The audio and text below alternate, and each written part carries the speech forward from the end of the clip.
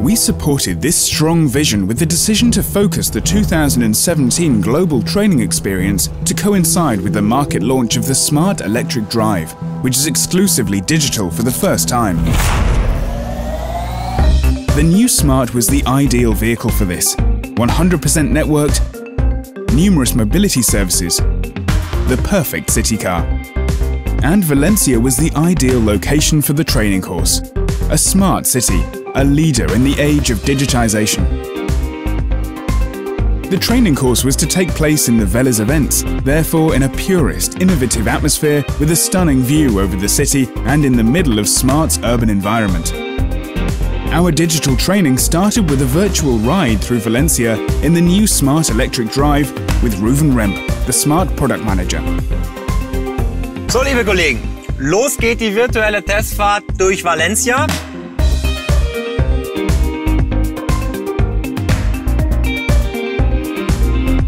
So let's head for the centre of the Old Town.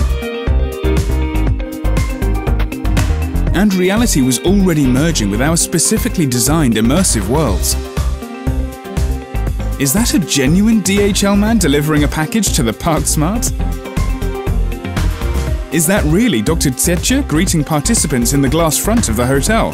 And Dr. Winkler in person seems to be commenting on her product manager's driving. Vendors were able to use the Smart Control app to access information from a cafe, including the charging status and air conditioning. Aber jetzt ist genug der Pause, es geht weiter. Unlike the virtual welcome from the entire Smart team from Hambach shortly before reaching our destination, the smallest Smart showroom in the world was definitely real. And then to the workshops, where the outstanding design of the training location continued into the rooms where the workshops were held. Here we presented the participants exclusively with digital media, a GTE app, touchscreen input, augmented reality apps, digital paper chase, statements by selfie, content on demand, digital configuration, and time and time again, the Smart Control app, which really did amazing credit to the new Smart Electric Drive.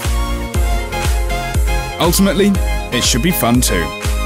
And the fun can also be analog, of course.